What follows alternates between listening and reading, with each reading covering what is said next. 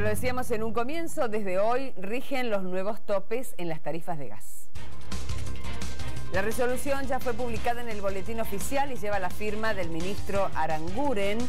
La firma de la nueva normativa se concretó luego de que el gobierno presentó dos recursos extraordinarios ante la Cámara Federal de La Plata que dispuso la suspensión de los aumentos de los servicios de gas y electricidad.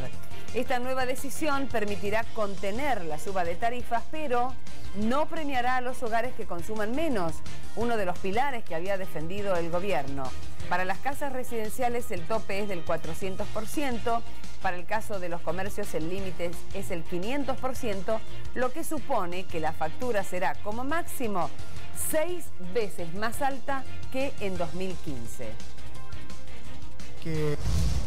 Mientras tanto, aquí en Salta, la empresa Gasnor refacturará las boletas con el cuadro tarifario vigente al 31 de marzo pasado. A la empresa no llegó todavía la notificación oficial del tope del 400%.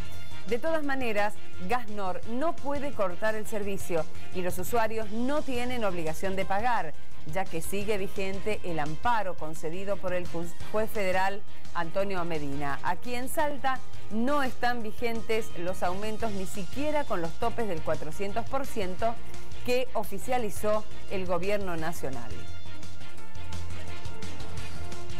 Mientras tanto, la Defensoría del Pueblo sigue esperando la aclaratoria solicitada al juez Medina.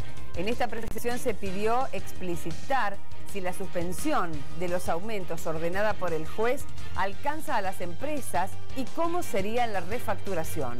Amparados bajo la sentencia, los usuarios residenciales de Salta no están obligados a pagar las eh, subas registradas en las tarifas. Mientras tanto, la Corte Suprema de Justicia solicitó informes al Poder Ejecutivo Nacional y resolvería la cuestión en agosto. Deberá hacerlo en un plazo de 10 días. El máximo tribunal le pidió un pormenorizado informe donde deberá explicar, por ejemplo, cómo fue la evolución de las tarifas de gas y de corresponder el impacto que esta evolución ha provocado en la prestación del servicio. Esta información que pidieron los jueces será fundamental para tomar cualquier decisión. Y del gas pasamos a la luz, porque en Salta no se esperan aumentos en la tarifa porque la actualización tarifaria ya se realizó a principios de año. Durante el primer semestre